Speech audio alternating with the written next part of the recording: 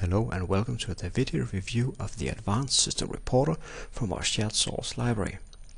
Today I will show you how to generate a few reports and then later on how to configure one.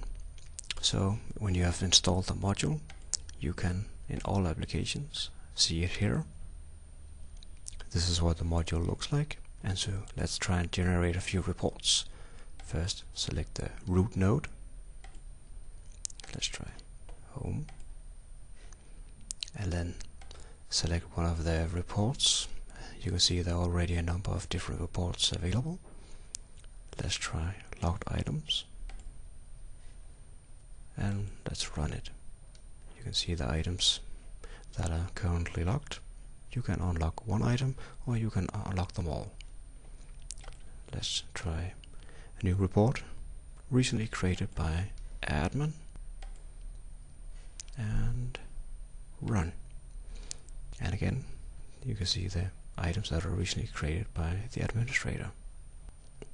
So this is how the module works. Let's see how you can go and create your own reports. And in system modules, item reporter reports, we have the reports that you can see in the module.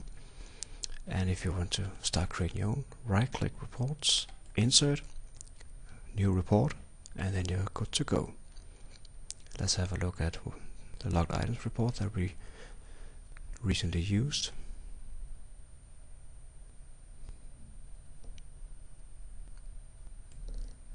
The module uses different filters to create a different varieties of reports and because this was just the locked items it only uses the locked items.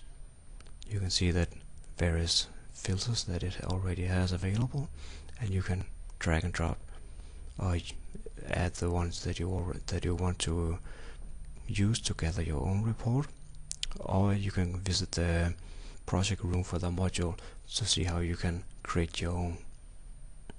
And by clicking through the different reports you can see that they all have the same structure. It's really just the filters that separate them from each other. So this was a review of the Advanced System Reporter module. If you want to have a closer look at the other modules that we have available, you could visit the index where we have the five latest edition on the top page and then a list of all the modules. And if you want to learn more about this module in particular, and then of course how to create your own reports there's an excellent documentation uh, written by the author of the module. And if you want to get in contact with me you can use this email address. So until next time